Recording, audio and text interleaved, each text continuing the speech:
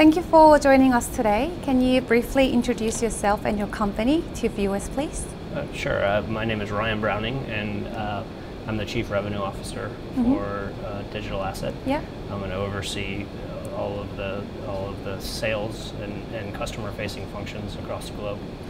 Um, and Digital Asset provides a, a blockchain or distributed ledger technology Mhm. um, that which allows customers to build their own applications. Oh, um, and and then synchronize those applications with, with other blockchain based systems that are, that are using the same the same technology. Cool. Um, can you share your thoughts on the adoption of STOs by traditional financial institutions?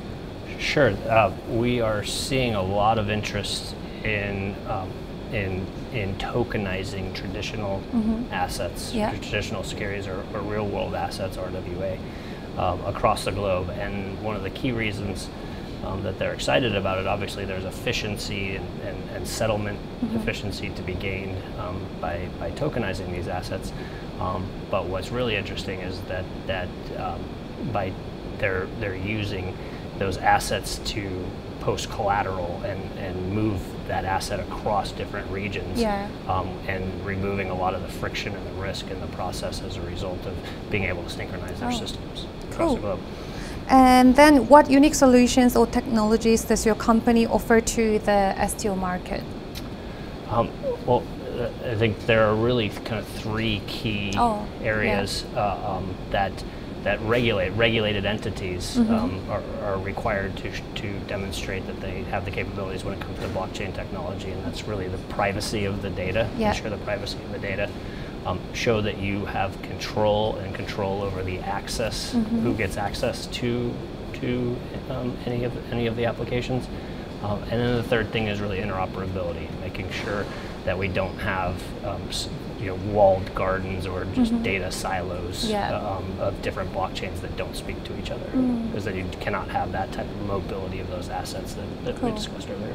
Cool. Then, can you provide an example of a successful STO that your company has facilitated? Sure. Uh, uh, so I think if there, there's um, we've worked with three of the largest CSDs in the world Mhm. uh, um, to um, do, they've demonstrated that they can tokenize their um, in the U.S. in the United States uh, U.S. Treasuries, uh, um, and then in the in the Europe um, tokenizing Euro bonds, Mhm. um, and in Hong Kong t- tokenizing Hong Kong bills and notes. Um, and the three CSDs of uh, DS, uh, DTCC, Mhm. Euroclear, and HKMA um, proved that they can can still maintain um, the legal and the regulatory hurdles of, of tokenizing those assets.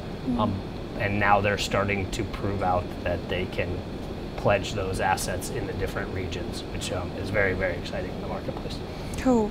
And is there any advice you'd give to companies or investors who are considering participating in STO industry in the future? Um, yeah, uh, I guess the advice I would give for anybody that's thinking about building an application for STO um, on blockchain, uh, the recommendation would be, you know, first define your business case. right? How, Okay. how are you going to Yeah. either increase the revenue um, or remove risk out of the system, or potentially uh, um, realize cost cost savings?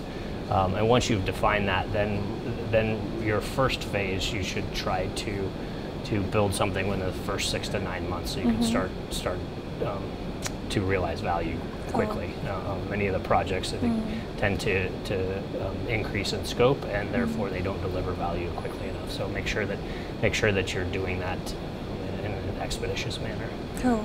And for very last question, um, what do you think about Korea's STO market at this stage? Yeah, uh, it's exciting. Uh, a little disappointed that the legislation has Yeah. uh, um, has stalled, Mhm. um, but it's definitely uh, headed in the right direction. It's the right conversations that are Yeah. being had.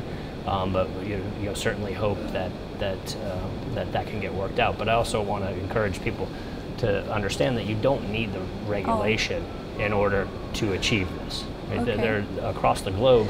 None of the other markets uh, Has- they've ever, ever released Yeah. STO type type regulation. Okay. What they're doing is they're taking the existing processes today Mm. and automating them to re- to remove the risk out of the life cycle. Okay. All right. Thanks for sharing your insights with us today. Thank yeah, you for your yeah, time. thank you very much. Thank you. Appreciate it.